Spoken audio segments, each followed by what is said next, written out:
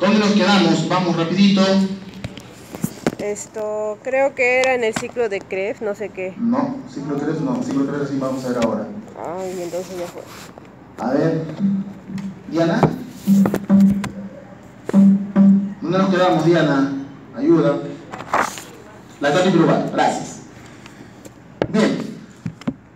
Entonces, el lactato circulante, que se origina ¿dónde? En el tejido muscular. Acuérdense ustedes, como le dije a sus compañeros, que el piruvato en anaerobiosis, ojo, en anaerobiosis en el músculo, el piruvato se convierte en lactato. Ese lactato va por sangre, ¿cierto? ¿Hacia dónde? Hacia el hígado, ¿cierto? El hígado sí utiliza el lactato para convertirlo en piruvato. Entonces, en el músculo, la velocidad de la glucólisis es alta, ¿cierto? Y va a requerir nada. Miren ustedes, esto es importante, porque su compañero me pregunta ahora sobre el metabolismo de la fructosa, que es parte de la siguiente clase, que ya la llevó él, obviamente. Pero miren ustedes, miren, esto es importante, glucólisis alta en músculo. ¿Por qué? Un poco adelantado, porque la fructosa tiene la propiedad de en el músculo ingresar como fructosa 6 fosfato y de frente ingresa vía metabólica. O sea, ingresa a vía glucolítica, perdón. Entonces, ¿para qué se aprovecha esto? Se aprovecha esto sobre todo en deportistas de alta performance, ¿está bien? Y en quienes, en quienes más se observan es en los ciclistas. ¿bien? Ellos suelen llevar en la parte posterior, algunos como una mochilita, otros como parte de su uniforme, ¿de acuerdo? Llevan un sachet. Ellos cuando sienten que les falta energía, sacan el sachet, lo abren y se lo ponen, o se lo toman, mejor dicho. Es fructosa. Ingresa la fructosa y como el organismo en la parte del tejido muscular la velocidad de glucólisis es alta, comienza a utilizar esa fructosa como fuente de energía. ¿bien? Puedo adelantarme un poco, lo que vamos a ver más, adelante. ¿bien? Siendo intensa la glucólisis, entonces la formación de NADH también es elevada. Se forma piruvato, que excede la velocidad de oxidación del ciclo Krebs. El piruvato que no ingresa, ¿qué pasa? Es transformado en lactato, por el lactato deshidrogenasa, y ya sabemos, ¿cierto?, que el lactato va hacia el hígado. ¿Qué sucede en el hígado? El hígado llega el lactato, ¿cierto? Ese lactato va a ser convertido en piruvato, ¿bien? ¿Por qué? Por la lactato deshidrogenasa, que requiere qué cosa? NAD. Los niveles en el hígado de NADH no son tan elevados como si lo son en el tejido muscular. Y el piruvato formado penetra en mitocondria. ¿Para qué? Para ingresar al ciclo de Krebs.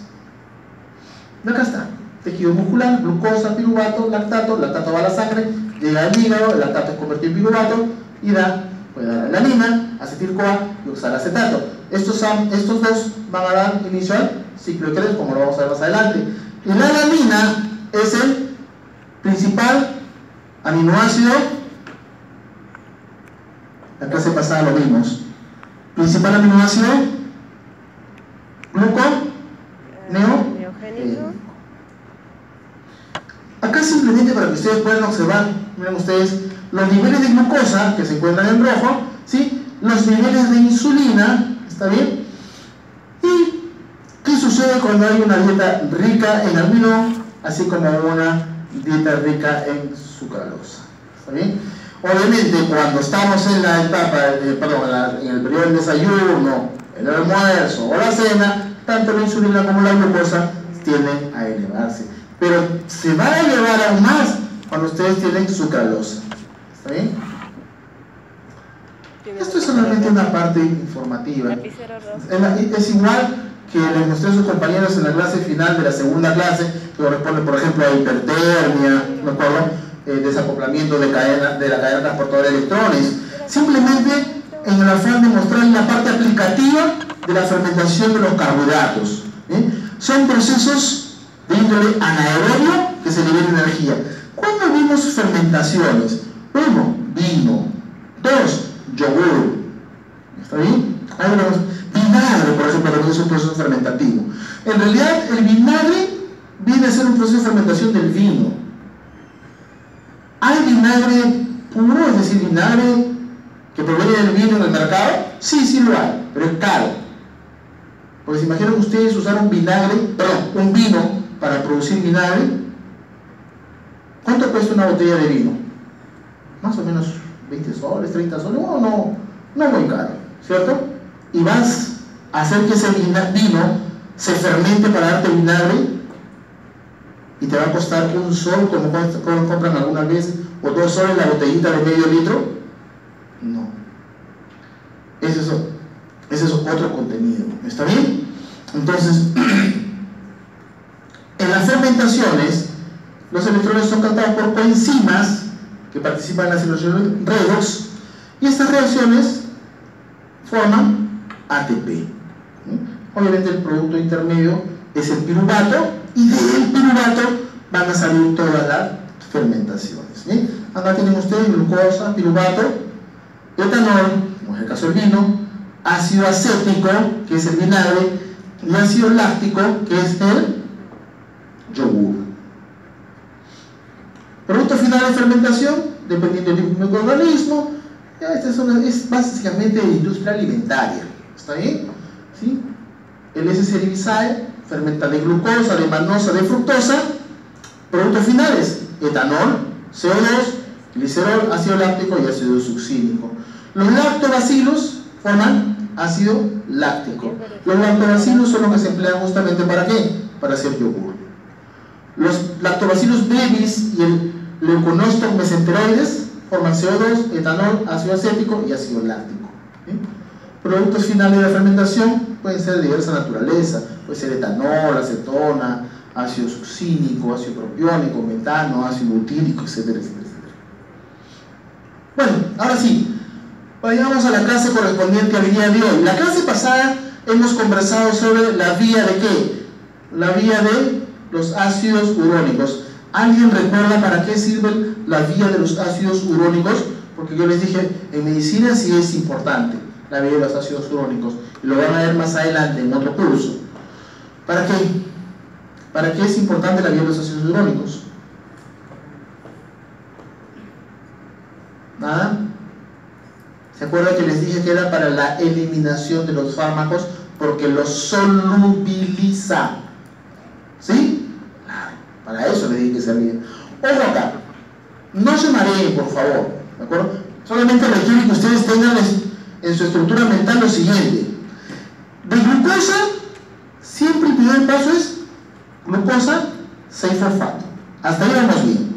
Pero cuando hablamos ya de la vía de los ácidos urónicos, de glucosa 6-fosfato, que es el segundo paso, en la glucólisis, ¿qué se diría?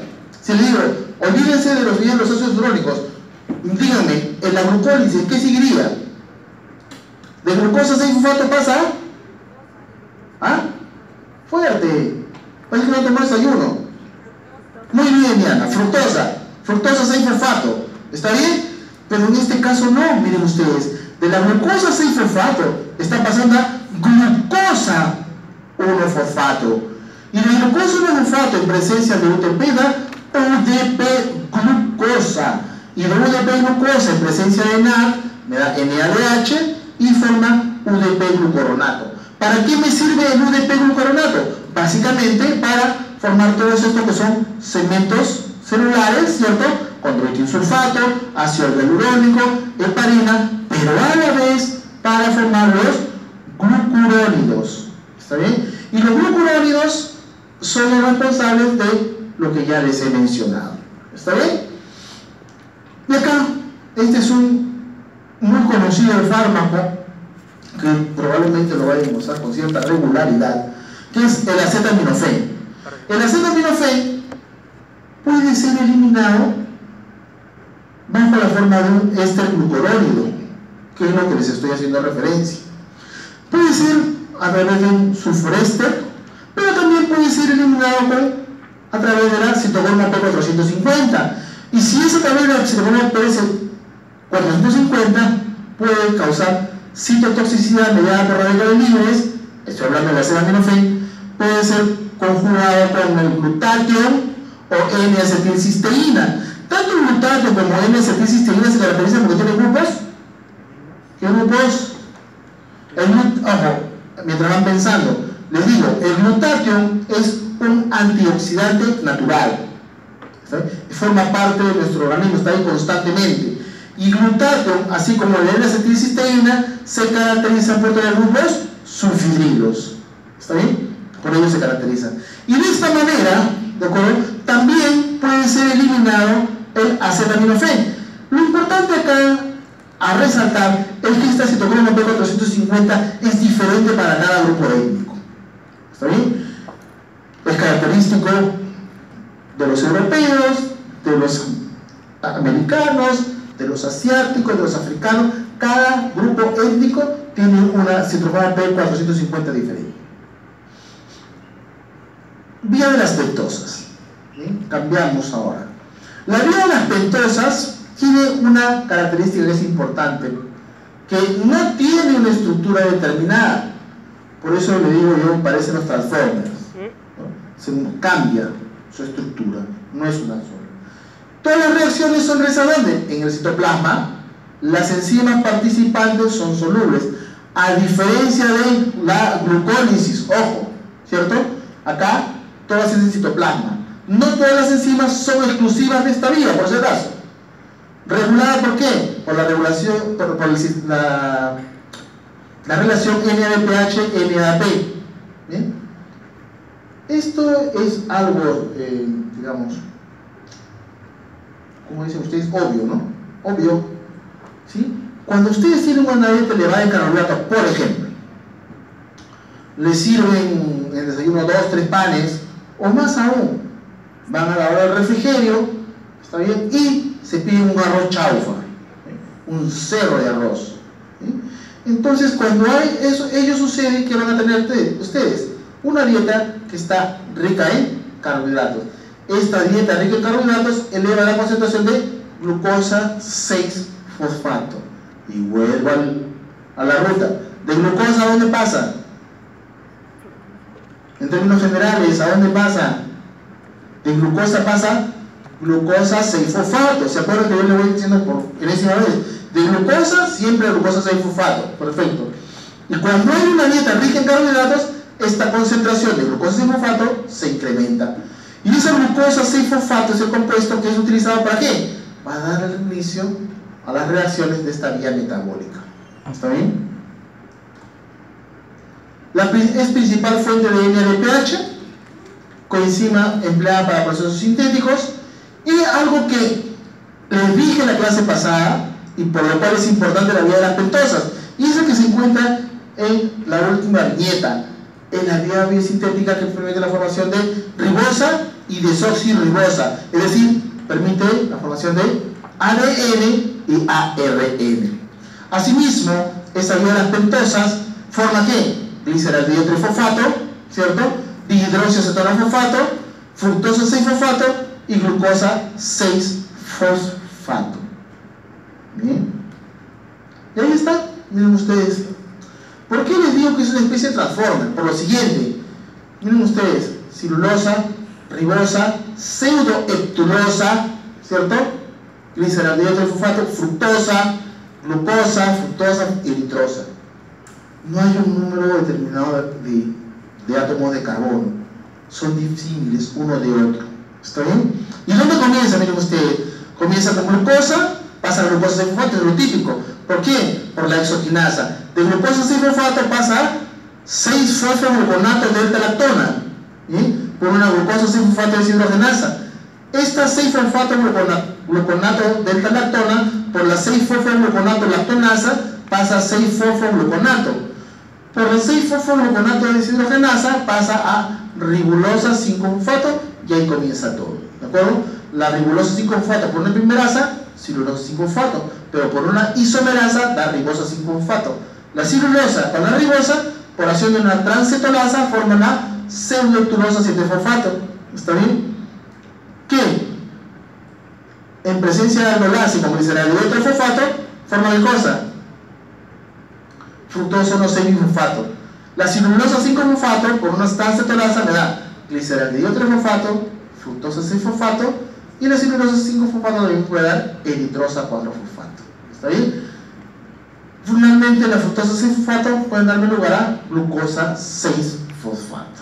Entonces, es una mezcla de todo. Acá, antes de comenzar, como también le comentaba a sus compañeros, pasa lo siguiente. Más allá de lo que me puede preocupar, no quiere decir que no sea importante, por favor, el consumo de azúcar, creo que es más dañino el consumo de fructosa, pero no el que proviene de la fruta propiamente dicho, sino aquel que se encuentra contenido en el jarabe de maíz. El jarabe de maíz es un producto que se inicia más o menos por la época de mm, la Revolución Cubana, ¿está bien? En la cual Estados Unidos en ese entonces era uno de los grandes compradores de caña de azúcar. Y a raíz de los problemas políticos que surgieron en aquel entonces, Estados Unidos decide ya no comprarle caña de azúcar a, Cuba. Otro de los grandes compradores que tenía Cuba era Brasil. Bueno, pero Estados Unidos ante esa adversidad decide sembrar maíz. Siembra maíz en tal cantidad de que le sobra el maíz y no sabe qué hacer con el maíz. Entonces dicen, bueno, ¿qué hacemos con esto? Hay que transformarlo en algo útil y a través de una serie de procesos enzimáticos transforman el maíz en jarabe de maíz con fructosa al 50%. Posteriormente, a través de eh, mejores procesos enzimáticos, logran obtener jarabe de maíz con fructosa al 55%. ¿Cuál es la ventaja, como les estaba diciendo? Que la fructosa ingresa a la vía glucolítica sin que nadie la regule. ¿Está bien? De manera tal que, como no hay quien la regule, la fructosa ingresa directamente a la célula y no este, ingresa vía glucolítica, se metaboliza piruvato, ciclo de Krebs y sigue la vía y sigue la vía y sigue la vía. Cosa que no sucede con la glucosa, porque la glucosa si tiene su enzima que la regula. Y dice, no, hasta acá no más, ya no más. En cambio la fructosa no, sigue ingresando, sigue ingresando. ¿Qué debería suceder? Lo que debería suceder es que si ingresa fructosa, llega a vía glucolítica, pasa a... Eh, llega a, a piruvato, ingresa, ingresa a ciclo de Krebs, la cadena transportadora de electrones y todo lo demás formaría, tendría muchos electrones, la, a la formación de ATP sería mucho mayor, de manera tal que al final podría ocasionar la muerte de celular, o la muerte de la mitocondria. Pero eso no sucede. Porque el organismo es tan sabio que dice, no, eso no, no, puede, más ATP no podemos formar. ¿Qué queda? Saco, ¿qué saco? Citrato. Por eso que cuando les dije en la práctica, lo que estaba en mi si no tiene succinato, ¿qué vas a agregarle? Le dije, puedes echarle malato, pero no le puedes echar citrato, porque citrato sale de la sale de la mitocondria. Citrato no entra, citrato sale. ¿Está bien? Al salir citrato, ¿cierto? Acetil-CoA, malanil-CoA, malanil-CoA, por acción del, grupo enzimático ácido graso sintasa, me da lugar a qué? Qué complicado, ¿no?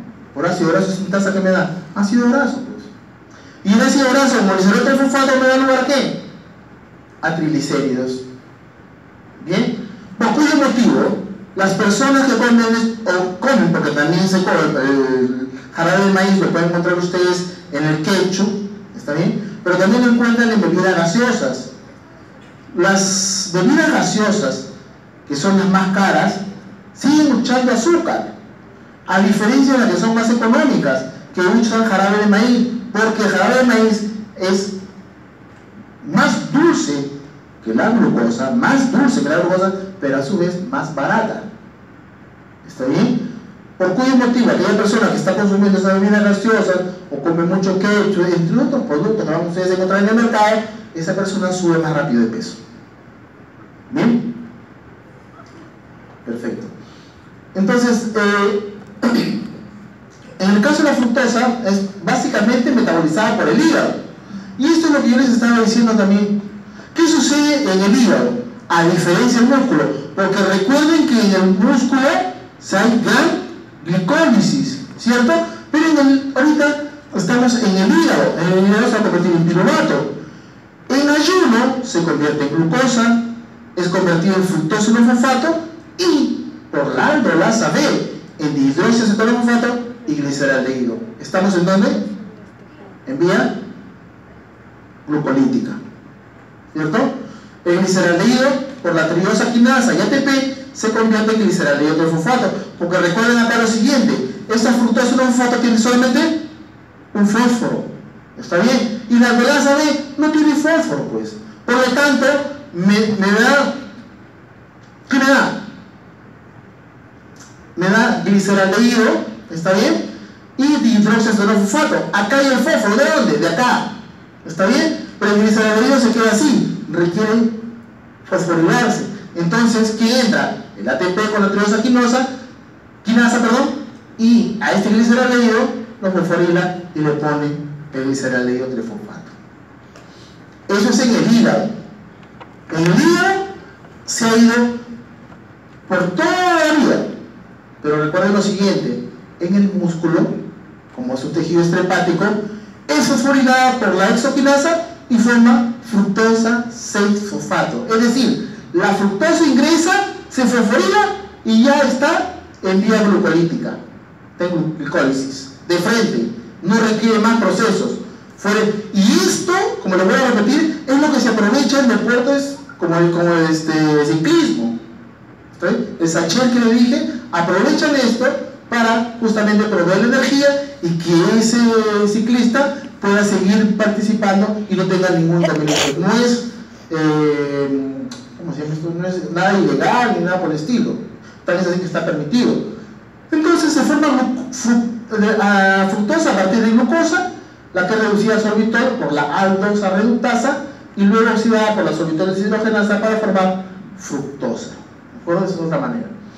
Y la fructosa, derivada de la glucosa, en vesículas seminales, es la mayor fuente de energía en las células espermáticas. Entonces, ¿dónde sucede esto? De fructosa a fructosa y fosfato. En tejidos extra hepáticos, va de frente. De fructosa a fructosa y fosfato, ya estoy en vía glucolítica, estoy en glicólisis. Pero de fructosa a fructosa monofosfato, por acción de la fructoquinasa, recién me da gliceraldehído y dihidróxido de fosfato, y este gliceraldehído, en presencia de ATP y una quinasa, recién me da gliceraldehído de fosfato, y de esta manera, recién estoy ingresando a vía glucolítica, recién. ¿Alguno de estos está regulado? Ninguno. No hay nadie que lo regule, nadie que le diga, ¿sabes qué? Ya no puede ingresar más fructosa, es suficiente con lo que ha consumido. No, se sigue consumiendo y entrando al ciclo de Krebs sin ningún problema. Pasemos ahora a lo que es el ciclo de la galactosa. La galactosa es liberada a nivel intestinal por hidrólisis de quién? De la lactosa. ¿Está bien? La galactosa que tiene, tiene galactosa y tiene química pura, vamos. ¿La lactosa y qué? ¿Se acuerdan que la clase pasada también les dije? Por eso que ese producto es más dulce. Glucosa. ¿Está bien? Por eso que les dije, la leche deslactosada, ¿está bien? ¿Qué es? Es más dulce. ¿Por qué? Porque se ha descompuesto y tiene galactosa por un lado y tiene glucosa por el lado, por el otro lado, por eso se siente más dulce. ¿Está bien? Entonces, a nivel celular va a ser fosforilada por la galactoquinasa para formar galactosa 1-fosfato. La galactoquinasa, ¿de acuerdo? Tiene un, cuando esta se encuentra deficiente, se acumula la galactosa en la sangre y tejidos. ¿Está bien? ¿Por qué? ¿Por qué se va a acumular? Porque al no haber no galactoquinasa, ¿cierto? No se forma galactosa 1-fosfato. Posteriormente, esta galactosa 1-fosfato es convertida en qué? En una galactosa que sirve para sintetizar lactosa. Bien, la galactosa es convertida en UDP-glucosa y glucosa 1-fosfato. Estos derivados de la glucosa se convierten en, qué? en glucosa en qué momento. Eso se va a convertir en glucosa durante el ayuno. ¿Está bien? Y un glucógeno después de las comidas. Es decir, una vez que una persona haya consumido los alimentos, va a tenerlo eso como fuente de energía, lo va a almacenar. ¿Está bien? En cambio, durante el ayuno, estos derivados van a ser empleados para formar glucosa, gluconeogénesis. ¿sí? En otros tejidos, en otros tejidos, la glucosa 1-fosfato forma glucosa 6-fosfato. ¿Y qué es la glucosa 6-fosfato? Es el segundo paso de la glucólisis. ¿Está bien? Entonces ingresa de frente a dónde? A ella, pues, a la glucólisis. Y la 1 galactosa se utiliza para qué? Para síntesis de glucoproteínas, proteoglucanos y glucolípidos. ¿no?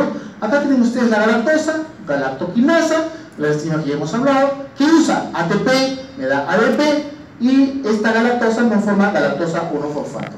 Por acción de la galactosa 1-fosfato uridil transferasa, glucosa 1-fosfato. Y ojo, acá que usa para esa transformación, usa UDP glucosa que la convierte en UDP galactosa. Y esa UDP glucosa y UDP galactosa son interconvertibles.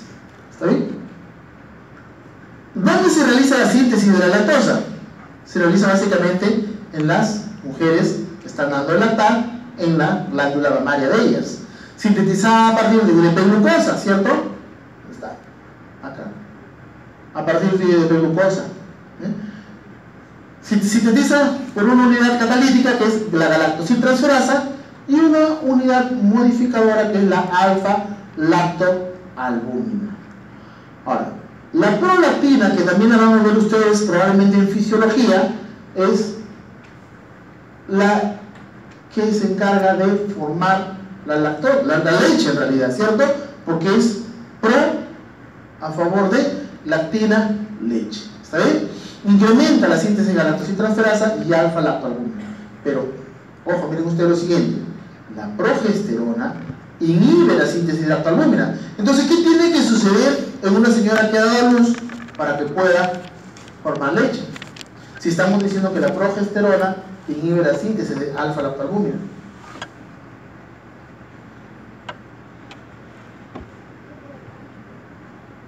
¿Mm? La respuesta está ahí, ¿no? Después del parto, los niveles de progesterona tienen que disminuir. ¿Está bien? Porque si no, no hay formación de leche.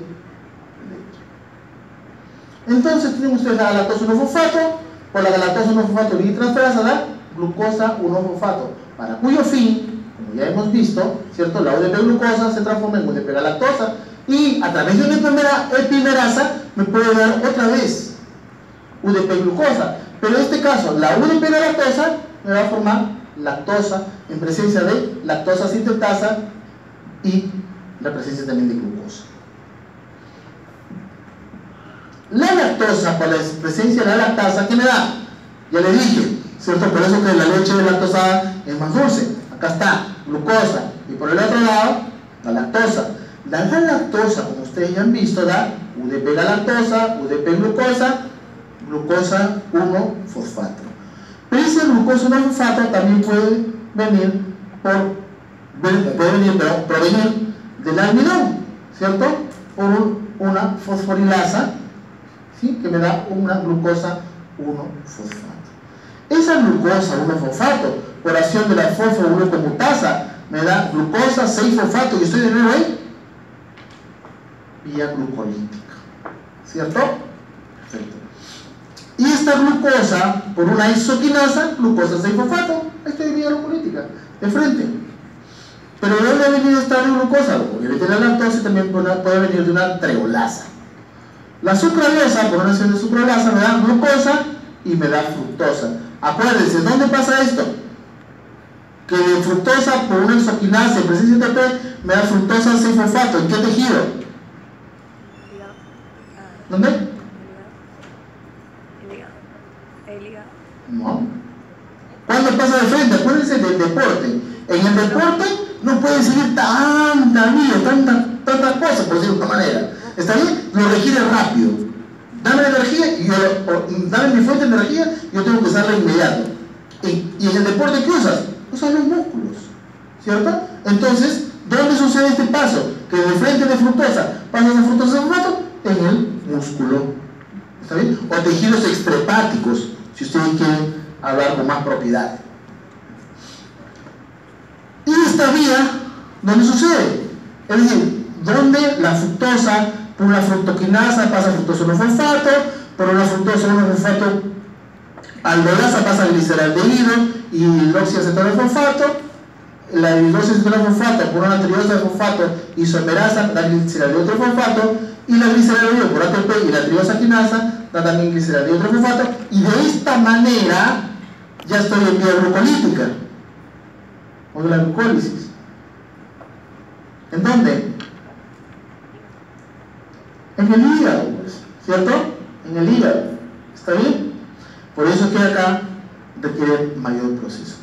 Con respecto a la manosa, por la presencia de exoquinasa, igualmente da manosa 6-fosfato y por la fosfomanosa isomerasa, yo tengo fructosa 6-fosfato. ¿Bien? Vayamos a el famoso ciclo de Krebs. Bien. Mayor producción de energía. Todas las enzimas se encuentran en la mitocondria. Ojo, todas las enzimas del ciclo de Krebs están en la mitocondria. ¿Y cuál está en el citosol? Lo dejamos pregunta examen, ¿está bien?